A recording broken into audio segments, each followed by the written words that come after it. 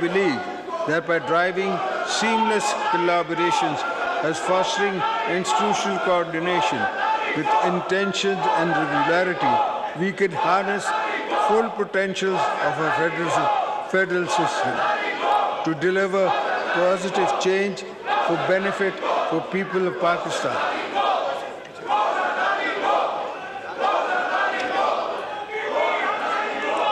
Mr. Speaker, honorable members of the parliament, Pakistan needs all hands on deck to revitalize its economy.